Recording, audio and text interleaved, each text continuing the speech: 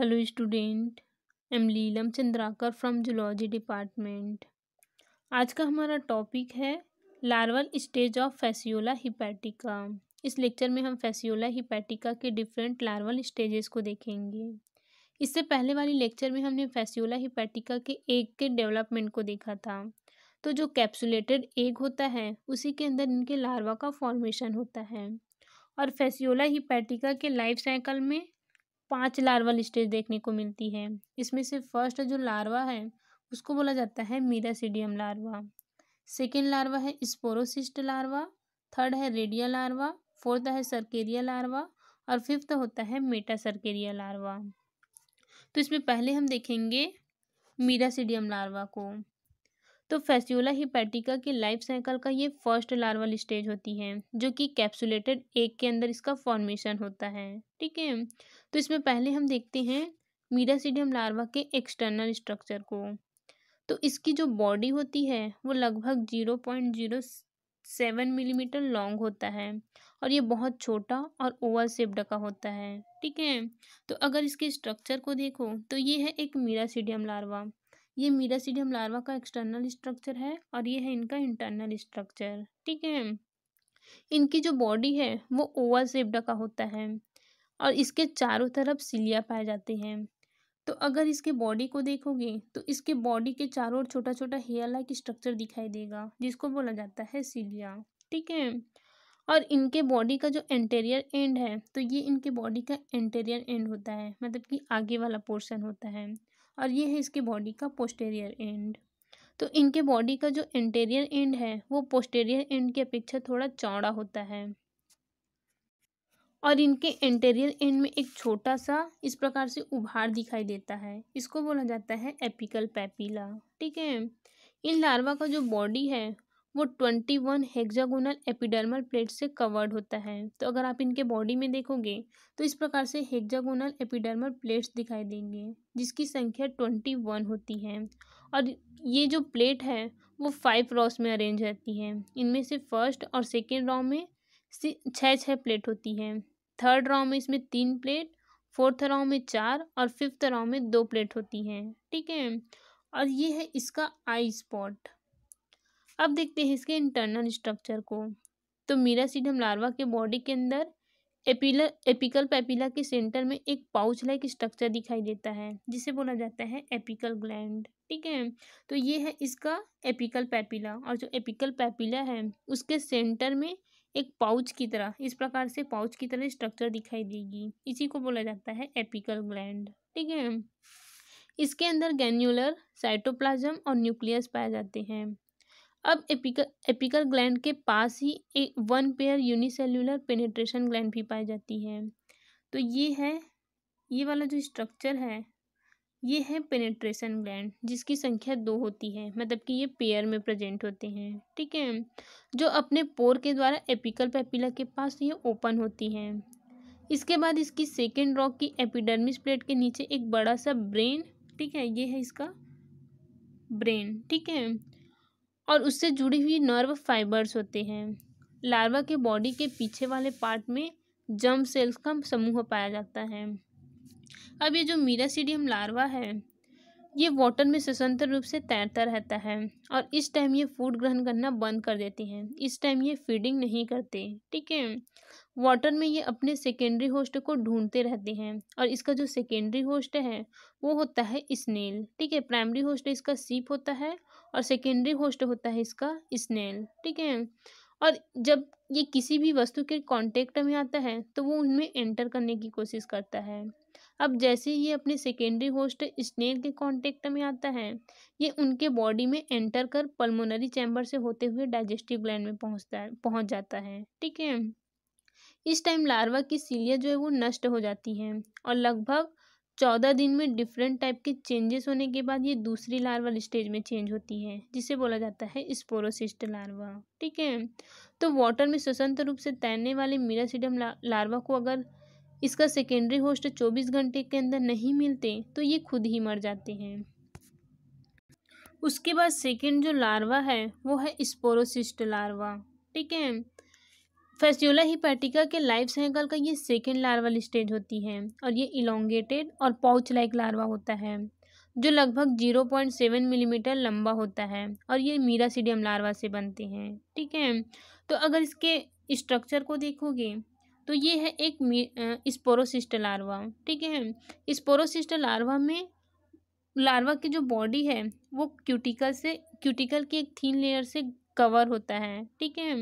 और इसके बॉडी में मीरासीडियम के कुछ ऑर्गन जो है वो डिसअपियर हो जाते हैं मतलब कि गायब हो जाते हैं। जैसे कि एपिकल ग्लैंड पेनेट्रेशन ग्लैंड ये सब डिसअपियर हो जाते हैं। इसके अलावा आई स्पॉट और ब्रेन भी गायब हो जाते हैं, ठीक है?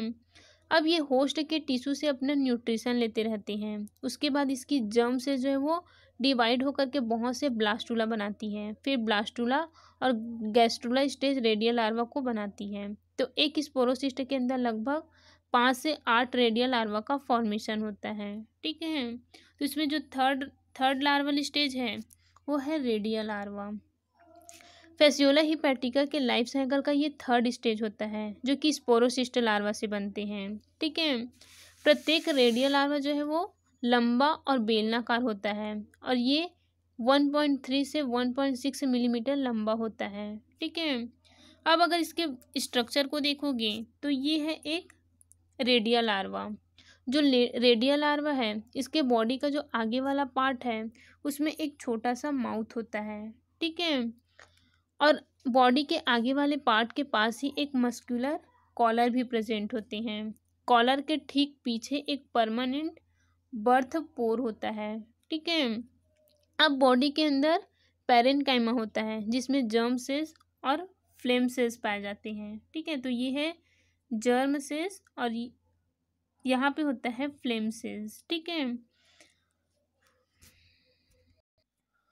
और इनके बॉडी के पोस्टेरियर एंड के पास वन पेयर लेपेट्स होता है। रेडिया अपने होस्ट के टिश्यू को खाता हुआ मूवमेंट करता रहता है। अब जब सम, समर मंथ में जब इसको पर्याप्त मात्रा में फ़ूड उपलब्ध हो जाता है, तब इसमें पाई जाने वाली जो जर्म सेल्स है, वो डॉटर रेडिया का फॉर्मेशन करती हैं, जो कि मॉर्फोलॉजिकली अपने पेरेंट के समान ही होते हैं। अब विंटर में ये नेक्स्ट लार्वल स्टेज में कन्वर्ट होता है, जिसको बोला जाता है सर्केरिया लार्वा तो इसमें जो फोर्थ लार्वल स्टेज है, वो है सर्केरिया लार्वा। ये जो, ये फसियोला हिपैटिका के लाइफ साइकिल की फोर्थ लार्वल स्टेज होती है, जो कि रेडियल लार्वा से बनते हैं, ठीक है? सर्केरियल लार्वा जो है, वो रेडियल लार्वा के बर्थ पोर्ट से बाहर आकर के स्नेल के डाइजेस्टिव ग्लैंड में पहुँच जाते हैं। अगर सर्केरियल लार्वा की स्ट्रक्चर को देखें तो इनकी बॉडी जो है, वो कम्प्लीटली डेवलप होती है। इसका बॉडी गोल और ओवल शेप्ड का होता है और साथ ही इसे तैरने के लिए एक टैल भी प्रेजेंट होते हैं, ठीक है? और इनके बॉडी वॉल के नीचे अनेक सिस्टोजीनस ग्लैंड की सेल्स पाई जाती हैं। साथ ही इनके एलिमेंट्री केनॉल जो है वो अच्छी तरीके से डेवलप होते हैं। इनका जो एलिमेंट्री केनॉल है, वो माउथ से स्टार्ट होता है, ठीक है? फिर ये आगे फेरिंग्स में ओपन होगा। फेरिंग्स आगे की ओर इसोफेगस में और इसोफेगस इंटेस्टाइन में ओपन होते हैं, ठीक है? साथ ही इसमें दो सकर्स भी दिखाई देते हैं। इसमें से ओरल सकर जो है वो माउथ के चारों ओर प्रेजेंट होता है और दूसरा जो सकर्स है, उसको बोला जाता है एसिटाबुलम ठीक है? इसके इंटेस्टाइनल कैविटी के अंदर बहुत सारी जर्म सेल्स फ्लेम सेल्स और एक्सक्रिएटरी डक्ट पाई जाती है। अब मैच्योर जो सर्किरिया लार्वा है, ये होस्ट के टिश्यू से होता हुआ होस्ट के पल्मोनरी सैक में चला जाता है और वहाँ से वो बाहर वाटर में निकल जाते हैं। मतलब कि ये अपने सेकेंडरी होस्ट स्नेल के बॉडी से बाहर आ जाता है, जो सर्केरिया लार्वा है वो। अब मीरासीडियम को स्नेल के बॉडी में एंटर करने और सर्केरिया लार्वा बन करके होस्ट के बॉडी से बाहर निकलने में लगभग पैंतीस से पैंसठ दिन का समय लग जाता है। स्नेल से बाहर आने के के लिए जो सर्केरिया लार्वा है उसको नाइन डिग्री सेंटीग्रेड से ट्वेंटी सिक्स डिग्री सेंटीग्रेड का जो टेम्परेचर है, वो उसके लिए फेवरेबल होता है। ठीक है? अब सरकेरिया जो है, वो स्नेल के बॉडी से निकलने के बाद वाटर में तैरता रहता है, या फिर घास, या फिर किसी भी एक्वेटिक प्लांट की लिप पर ये रेंगता रहता है। इस प्रकार दो या तीन दिन बाद इसकी जो टैल है, वो डिसअपियर हो जाती है, और ये किसी एक्वेटिक प्लांट से जाकर के चिपक जाते हैं। अब इसके बाद इसके सिस्टोजीनस ग्लैंड से एक चिपचिपा पदार्थ का सिक्रेशन होता है। और ये उससे अपने बॉडी के चारों ओर एक थिक कड़ा सिस्ट का फॉर्मेशन कर लेता है, ठीक है? उसके बाद ये अब नेक्स्ट लार्वल स्टेज में कन्वर्ट हो जाता है, जिसको बोला जाता है मेटासर्केरिया लार्वा। तो इसमें फिफ्थ जो लार्वल स्टेज होती है, वो है मेटासर्केरिया लार्वा। मेटासर्केरिया लार्वा जो है वो फेसियोला हिपैटिका के लाइफ साइकिल का सबसे लास्ट लार्वल स्टेज होती है। सर्केरिया जो है वो स्नेल को, स्नेल के बॉडी से बाहर निकलने के बाद इसका जो टैल है वो डिसअपियर हो जाता है और इसके चारों ओर एक कठोर सिस्ट का फॉर्मेशन हो जाता है, ठीक है? तो यहाँ पे आप देख पा रहे हो, ये वाला जो पार्ट है इसको बोला जाता है सिस्ट। ये कड़े और हार्ड थोड़ा हार्ड होता है, ठीक है? थिक होता है। इसे ही मेटासर्केरियल लार्वा कहते हैं। इसका स्ट्रक्चर गोलाकार होता है और ये मैच्योर होते हैं और एक मैच्योर फ्लूक के समान ही दिखाई देता है। इसके बॉडी के चारों ओर क्यूटिकल का एक लेयर होता है, जिसे हम सिस्ट वॉल कहते हैं। इनके बॉडी में बहुत सी संख्या में फ्लेम सेल्स पाई जाती हैं। इसमें सिस्टोजीनस ग्लैंड भी डिसअपियर हो जाते हैं और बॉडी के अंदर जर्म सेल्स पाई जाती हैं।